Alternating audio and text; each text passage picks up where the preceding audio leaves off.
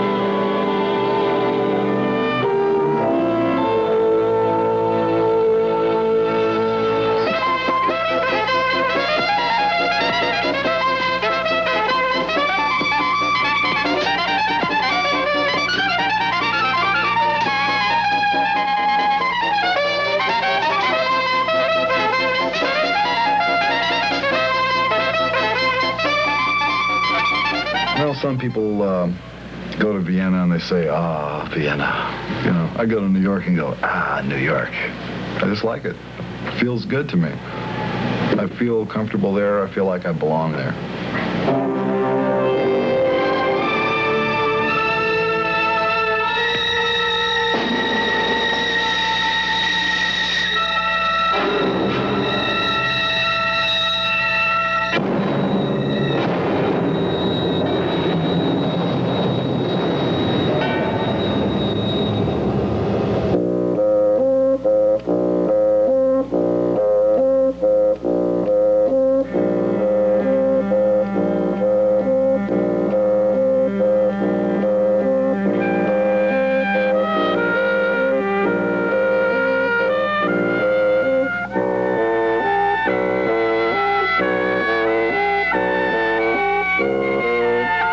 Música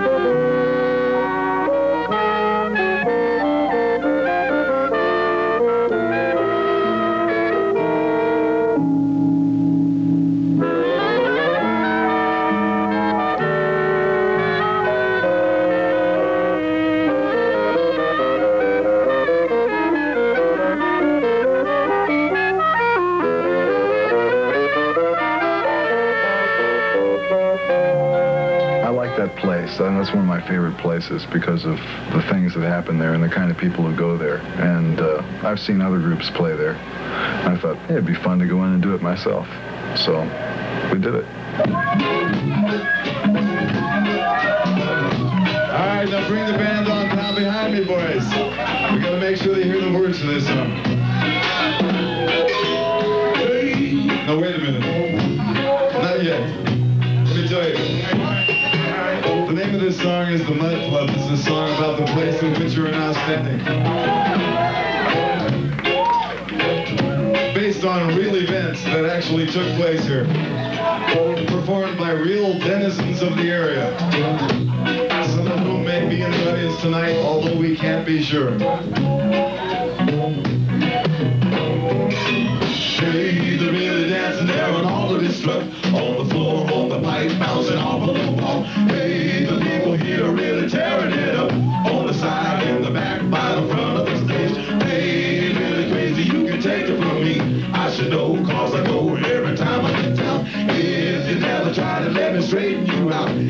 best kind of place to unfasten yourself. Mudd Club, there ain't no sign in the front. Mudd Club, there ain't no sign in the back. Mudd Club. Now people, if you don't go, then you won't know about the show on the floor. Do you know what I'm talking about? Have you ever been down here at the early hours when it's pretty empty and you see these people? Well, you see these people, uh, you know those poles out there? I saw a guy run at that pole and stick to it for five minutes. I tried it this afternoon when we came in here, and it's very hard to do. Mudd Club is all the way downtown, the Mudd Club. They ain't messing around. Just turn to the left and look around. It's there somewhere. Well, if you ain't found it, better hurry up. The folks down there is on auto destruct. So can you be too. Fact of the matter is made for you. Try it on a Saturday about 4 o'clock in the morning, or even on a Monday at midnight, when there's just a few of them fabulous poodles doing the peppermint twist for real in a black sack dress with nine-inch heels. And then a guy with a blue mohawk comes in, the bass player from the Plasmatics, in serious leather and all of the rest of whom, for which, to win so never, of partially indeterminate biochemical degradation, seek the path to the sudsy yellow nozzle of their foaming, nocturnal, parametric, digital interface, whole wheat, geothermal, terpsichorean ejectamenta in serious leather, in serious chains. This place uh, was the antithesis of everything that the disco aesthetic of the time dictated, which uh, which was to have a beautiful name, first of all, uh, Reflections or Ice Palace or Scarlet Peacock or something of that nature. So uh, as a purely conceptual statement, I named it Mudd, not because I wanted to relate it to, the, to, to mud, but just because I wanted to create an antithesis to that kind of uh, beautiful people reality. And then we made it very hard to find, very hard to get into, which probably was good, solid advertising sense, even though I didn't realize it at the time, because if you irritate your clientele to a degree, they'll remember it. I think Sylvester, Stallone came in once and uh, in a really gorgeous blue Cadillac, uh, custom painted, two Cadillacs. And uh, he stayed around for about 15 minutes and he says, but this is such a dump. he just couldn't, uh, couldn't grasp it, that uh, you don't have to have marble floors to have a, uh, a place where uh, a social gathering can take place. And, and, and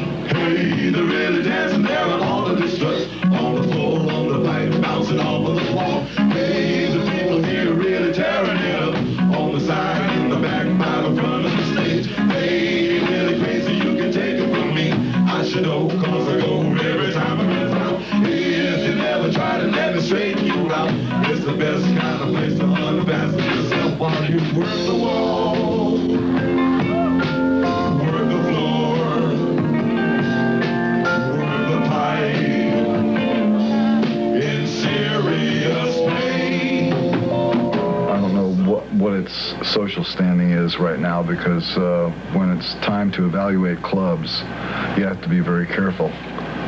In ter- uh, uh, the evaluation being in terms of whether or not this particular club is happening, you know, according to all the New York uh, fashionable people. I don't know whether it's happening anymore or not.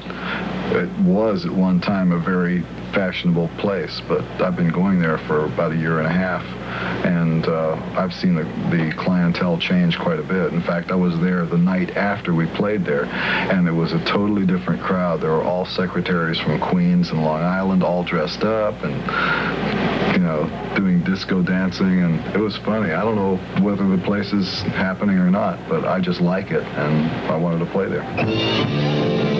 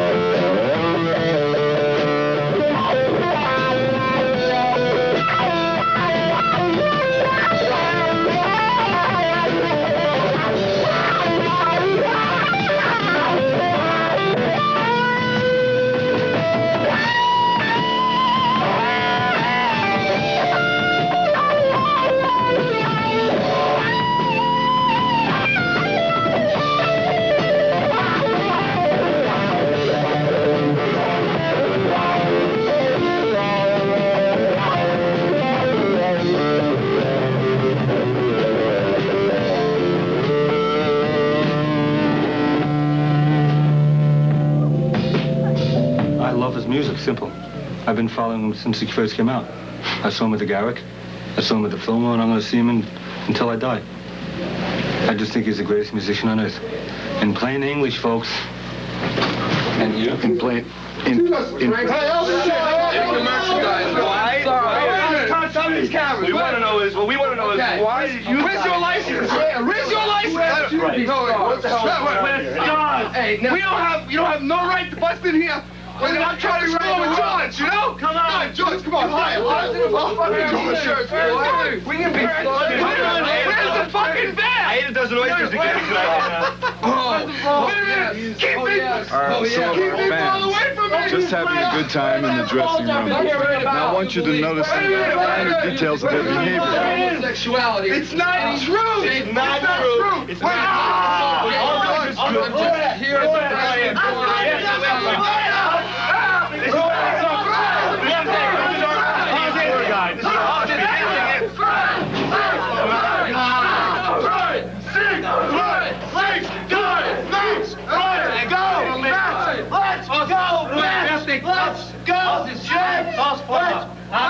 Hey, no. against. Come on, on Tuesday, Bruno Sammartino. I will fight him. I will win. Oh yeah? You I will beat think him. You think so? No, no, come on. Listen, get down the floor. Get down the floor.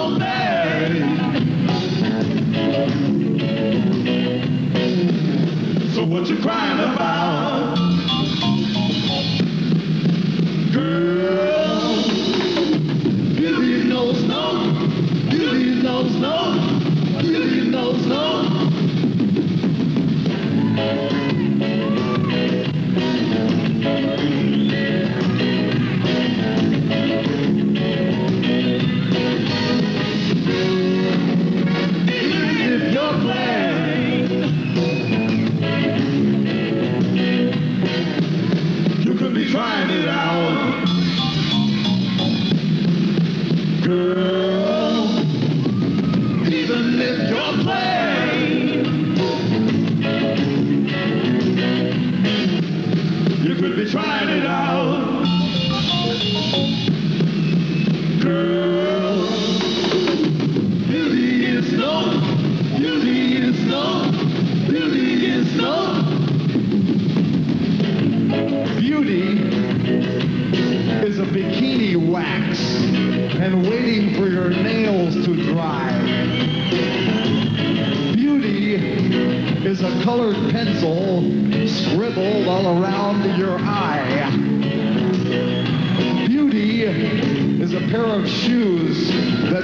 makes you want to die.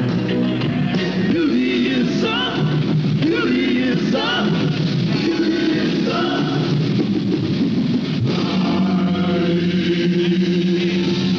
Uh, to go back to the tour, as it as we've seen it now, it's it's it's a very very hard, solid work to be to be on tour. Uh, how do you still manage to do it? I mean, you're 40 years now. How how long? 39 years Yeah, old. I'll be 40 on December 21st. How do you manage to to get all this pressure of a, of, of a tour with 20, 30, 40, 50 dates? How do you keep yourself in shape? Actually, the tour is 70 dates. Even. I do it because I like to play music. I don't like to travel. I don't like trains, airports, airplanes, boats, riding in cars. I like to play the guitar. I like to sing. I like to make people happy. And I like to hear my music. And the rest of the stuff is really boring, you know, but I have to put up with it.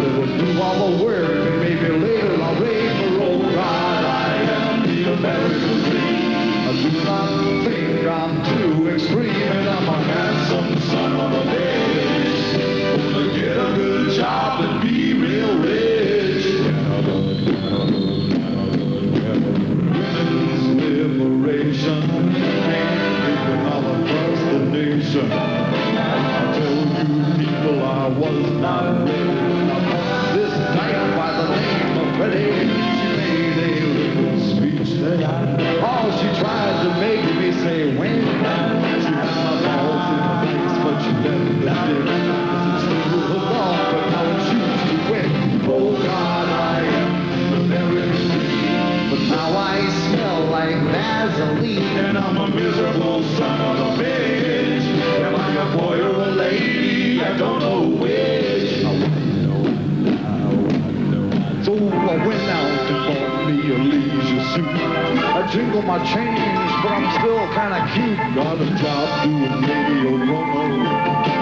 And none of the jocks can even tell I'm a homo. Eventually being a friend sort of drifted along into S&M. I can think about an hour on the Tower of Power. As long as I get a little golden shower. Oh God, I am. Gonna sprinkle up my butt till it makes me scream. And I'll do anything to get ahead.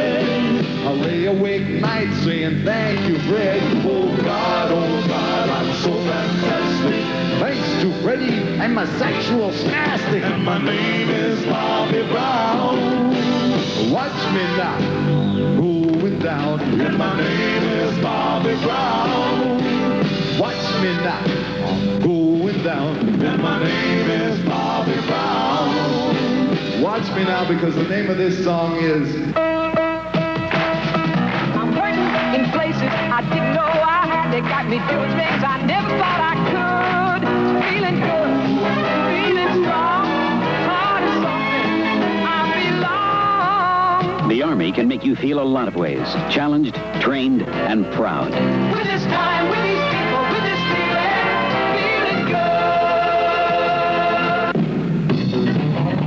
Special delivery. Oh, no. It's registered mail, buddy. You're going to have to sign for this. Oh, no. Come on out. I know you're in there. Oh no. I don't want to get drafted. I don't want to go. I don't want to get drafted. I don't want to get drafted. I don't want to go. I don't want to get drafted. Oh, oh, oh. whoa, whoa. Roller skates disco. Is it not for fun? I'm too young and stupid to operate a gun. I don't want to get drafted. Get drafted. I don't want to get drafted. I don't want to get drafted. Well, the draft is bad business. Um, first of all, they're going to have to spend a lot of money just to put the machinery of the draft back together. Then they're going to have to capture all of these unwilling participants. They're going to have to ship them to the place where they're going to train them. They have to clothe them. They have to feed them. They have to train them. They have to pay them a salary. None of them want to be there. And what's going to happen? They'll go off to fight someplace and they'll shoot each other in the foot. They don't want to be soldiers. And when you take somebody and put them in a position that they don't want to be in, you can't expect good results. If they increase the numbers of people in the United States Army to 4 million, 20 million, whatever, if they don't want to be there, that army is useless. And besides that, at this moment, we don't have the machinery to move a large army to any place else in the world in a hurry. It would take months to move large numbers of men to any trouble spot in the world. So it's foolish. To me, it sounds like just one of those things that happens during an election year. You know, the guy says, oh, draft all these people. It looks like uh, a big thing. But it's not good business. It's not the right way to have a good army. I think every country should have an army, but it should be composed of people who want the military life and who have an interest in being soldiers. And there are people like that in the United States. I don't know whether there are in Austria. I mean, a lot of skiers there.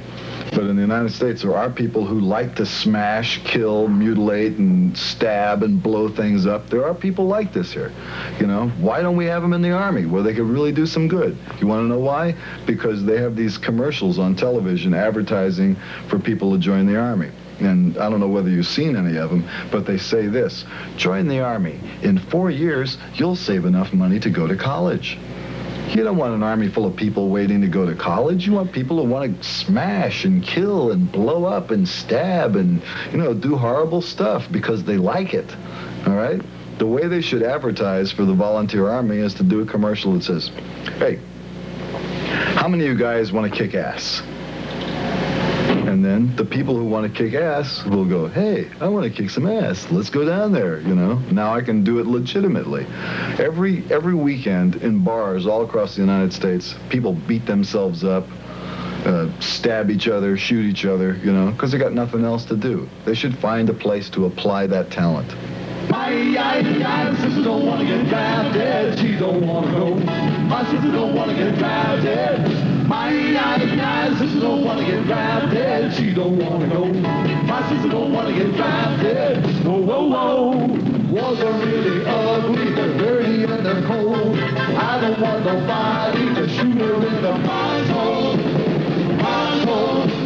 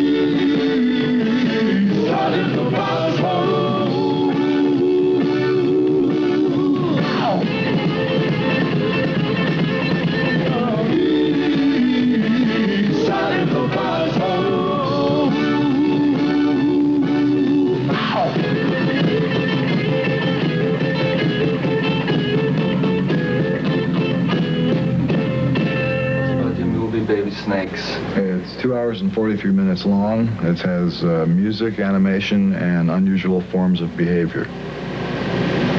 And it's supposed to go into general release in June, and I don't know when it's going to Europe. Is it true that there were some difficulties because it's that long that uh, to, to have uh, distribution because it's unusual? Yes. Have, but you don't change it. No. You leave it as it is. Yeah. Because basically the film is for people who already like what we do.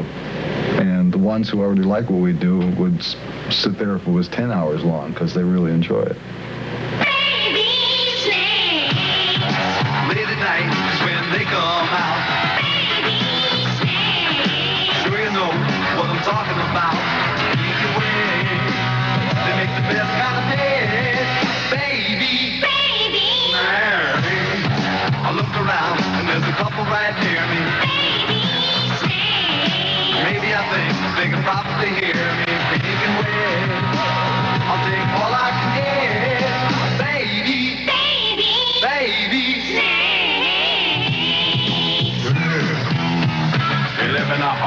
Ho, ho, ho, ho, ho.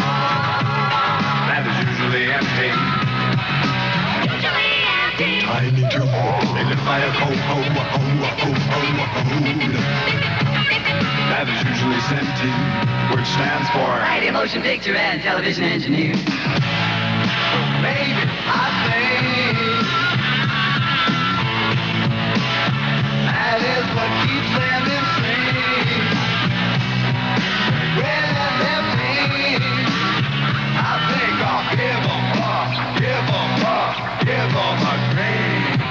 What happened to your classical ambitions? Well, I still write orchestra music, but you know nobody will ever hear it. You sure? Well, I don't want to say never, but uh, the chances of the music being played are not very good because every time we start negotiating with somebody about having a performance of it, all these problems arise, and it always comes down to how much money they're willing to spend to do it. Because uh, we've had some offers from orchestras who say, yeah, we'd love to play it, but we'll give you two rehearsals, and it's impossible to play it in two rehearsals. You just can't do it. And I would rather not have it played than to have somebody play it wrong.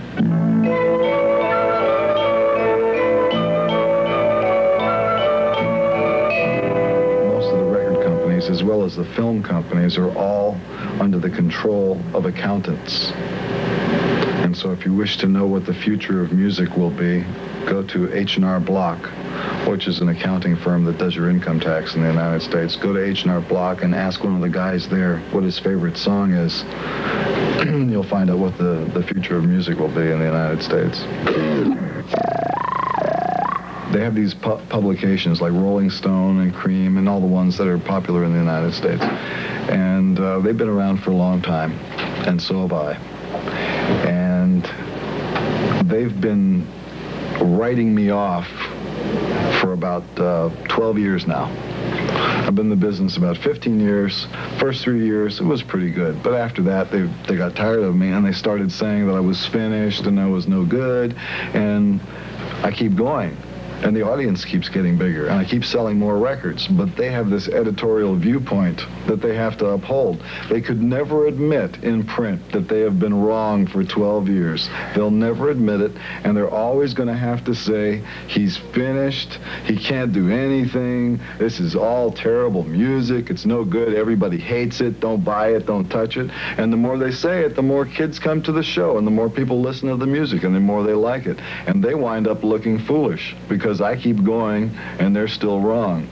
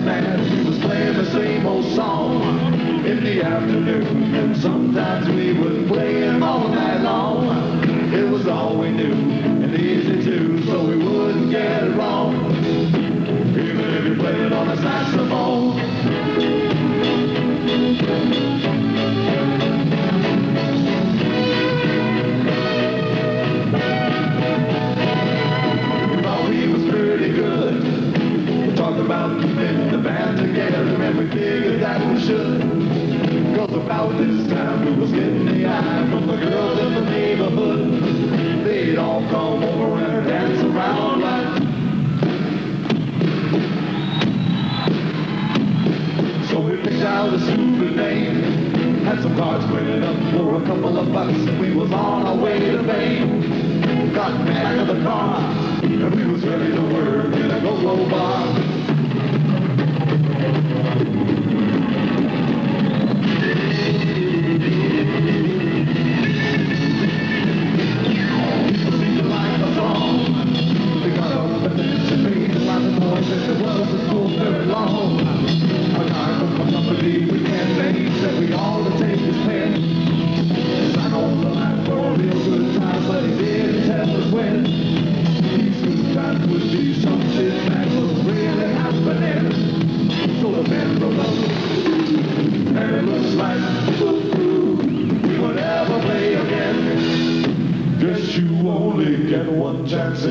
To play a song that goes like.